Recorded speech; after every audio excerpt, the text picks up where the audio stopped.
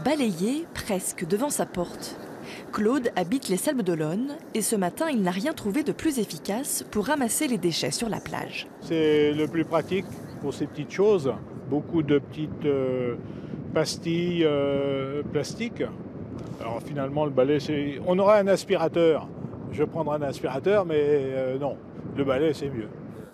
Au sol, partout sur plusieurs kilomètres, ces billes et résidus de plastique en quantité impressionnante. Sophie est venue avec sa fille. Elle ne s'attendait pas à de tels déchets. On ramasse beaucoup de billes euh, en plastique, là, de toutes les couleurs, et on en a mais partout. C'est impressionnant. Puis on a l'impression que c'est des petits coquillages, des petits cailloux, donc. euh, Mais non, c'est vraiment dur, euh, c'est vraiment du plastique. De voir euh, tout ce plastique et tous ces déchets, euh, même pour les yeux, c'est pas, c'est pas très beau. Des déchets pourtant presque invisibles si l'on n'y prête pas attention. Charriés par la marée, ils sont dévastateurs pour les poissons notamment. Les animaux pensent que c'est de la nourriture, du coup ils les mangent et ça les fait mourir parce que soit ça les, euh, étrangle avec les- le plastique et tout ça. Les tortues c'est pareil avec les pailles. euh. Renouvelée chaque année, cette action de sensibilisation vise aussi à modifier le mode de consommation de chacun.